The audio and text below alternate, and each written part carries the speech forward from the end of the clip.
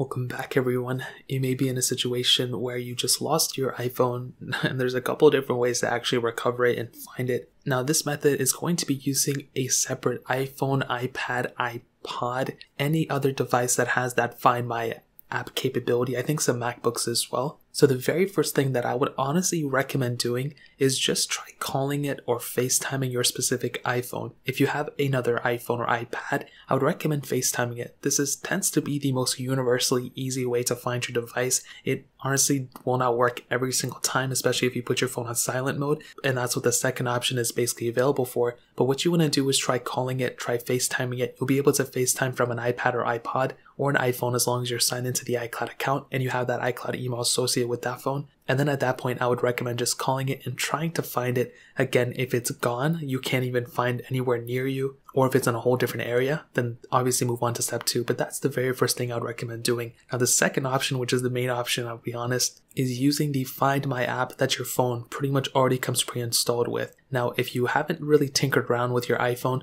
you probably already have Find My iPhone enabled. You know, you probably didn't disable it, and it's very easy to go ahead and find your device this way. So, what you want to do is you can either do this from your iPhone, iPad, or iPod, or you can actually do this from your computer by signing into iCloud.com slash find my and the link will be down below. And all you have to do is open up the Find My app on your device or go to the Find My website, which is linked down below. Log into the same exact iCloud account that you have associated on that iPhone. And that's why I tend to use an iPad if I ever lose my device because it already has my iCloud account associated with it. And all you have to do is once you have that app open, you want to go ahead and click on the devices option, the little tab that's right in the middle of your iPad or your iPod or whatever, and you'll basically get a list of all the devices that are currently synced up with your specific iCloud account. So all you have to do is find that specific device that you that you lost. So in this case, let's say it's an iPhone. All you have to do is click on that specific iPhone, and at this point, you are pretty much going to be set. You'll basically be able to see exactly where that iPhone is at,